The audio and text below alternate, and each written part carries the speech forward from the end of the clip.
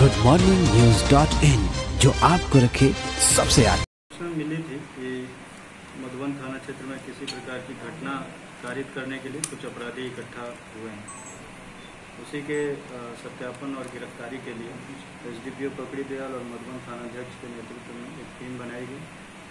और जब ये लोग रेड किए, राजेश सहनी और पप्पू सहनी, जो सिराहा पकड़ी दयाल के ही निवासी हैं उनको अरेस्ट किया गया। इनके पास से एक राइफल एक देसी बंदूक, एक देसी बंदूक का बैरल नंबर दो पार्ट्स में। इसके अलावा एक देसी कट्टा और एक अर्ध निर्मित बंदूक के कुछ पार्ट्स उसके अलावा हथियार बनाने के कुछ औज़ार बरामद हुए। साथ ही सात ज़िंदा गोली और बारह बोर का खोखा भी बरामद हुआ है। इनके पास से एक मोबाइल और एक लूट में प्रयुक्त किया गया किया गया पल्सर मोबाइल भी बरामद हुआ है।